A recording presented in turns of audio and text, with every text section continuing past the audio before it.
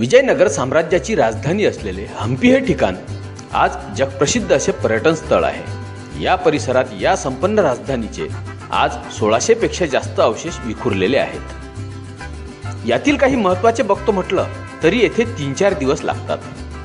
म्हणूनच या ठिकाणी पर्यटकांच्या निवासासाठी आज अनेक पर्याय उपलब्ध आहेत. हम्पीतील मध्यवर्ती आणि मुख्य ठिकाण आहे ते प्रसिद्ध असा हम्पी बाजार. आणि त्यासमोर असलेले विरूपाक्ष मंदिर. या भोवताल हम्पी हे छोटंसं गाव वसलेलं आहे. या ठिकाणी राहण्याचे काय पर्याय आहेत ते या व्हिडिओमध्ये आपण बघणार आहोत.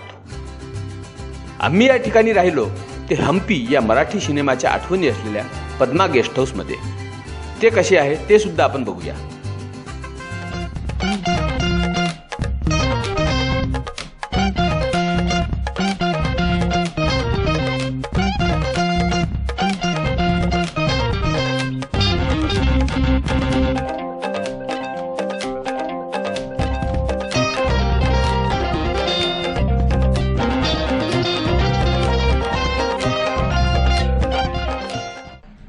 या पद्मा गेस्ट हाऊसचं आणि ही जी रूम आहे या रूमचं अजून एक वैशिष्ट्य तर आपल्याला हम्पी हा मराठी पिक्चर आठवत असेल.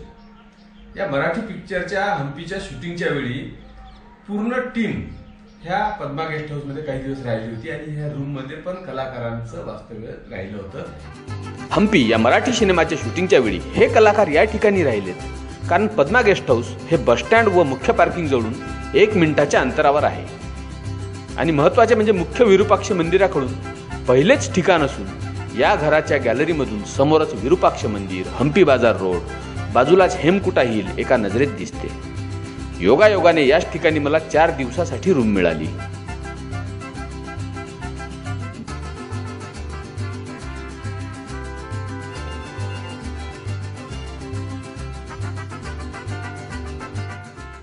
हम्पीमधला माझा जो स्टे होता तो पद्मा गेस्ट हाऊस जे आहे विरूपाक्षी मंदिराच्या अगदी जवळ. आणि ह्या ठिकाणी हम्पीला येणारा रोड ज्या ठिकाणी येतो ते म्हणजे मुख्य पार्किंग एरिया किंवा बसस्टँडचा एरिया तिथून अगदी एक मिनिटाच्या अंतरावर हे पद्मा गेस्ट हाऊस आहे. या पद्मा गेस्ट हाऊसमध्ये इथे आता आम्ही बसलो आहे. हा व्हरांड्यामधला सिटिंग एरिया आहे. त्या ठिकाणी आपल्याला रूमच्या बाहेर गप्पा करत बसायचं असेल तर बसता येतात. त्यानंतर आपल्याला आतमध्ये पहिल्या मजल्यावर यांच्या काही खोल्या आहेत. बाजूला खोली आहे आतमध्ये खोली आहेत आणि यांचं स्वतःचं घर आहे. तर ह्या रूम्स आहेत. यांच्या घरामध्ये स्वतःचं घर आहे आणि याशिवाय पर्यटकांसाठी यांनी खाली तीन रूम उपलब्ध करून दिलेले आहेत.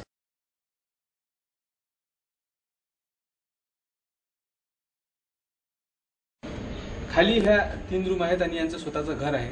याशिवाय वरच्या मजल्यावर यांचे सात रूम आहेत. आणि माझी रूम जी आहे ती वरच्या मजल्यावर आहे. ह्या ठिकाणी उभं राहिल्यावर आपल्या लक्षात येईल की समोर विरूपाक्ष मंदिर आहे. आणि मी स्वतःच्या कारनं आल्या आलो असल्यामुळे ह्या ठिकाणी जरा मोकळं पटांगण पण आहे. हम्पी बाजारच्या मागच्या एरियातलं किंवा मंदिराच्या समोरचं. तर ह्या पटांगणात माझी गाडी चार दिवस झाले रोज आरामात उभी असते आणि ह्या ठिकाणी बसस्टँड आहे. इथून गेल्यानंतर आत्ता वर माझी रूम आहे. आपण वरती जाऊ.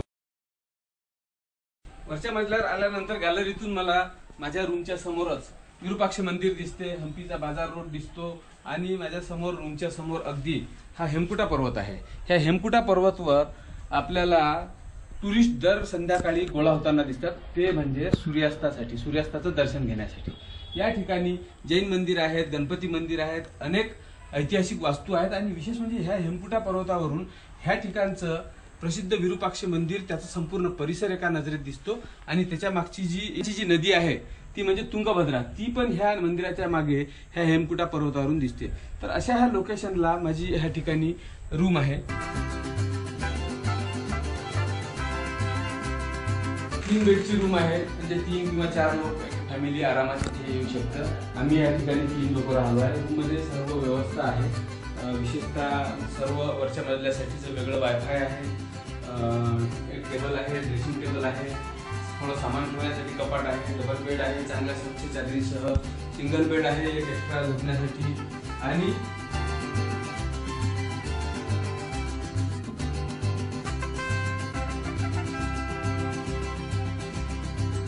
बाजूला जो व्हरांडा आहे त्या ठिकाणी आपल्याला कपडे वाळत घालायला पण जागा आहे. आणि समोर जो जिना दिसतो त्या जिन्यावरून वर गेल्यानंतर आपल्याला हम्पी आणि आजूबाजूचा परिसर हम्पीला येणारा रोड आणि मंदिर हा सर्व परिसर वरच्या मजल्यावर गेल्यानंतर स्लॅबवर गेल्यानंतर आपल्याला तो पण पाहता येतो.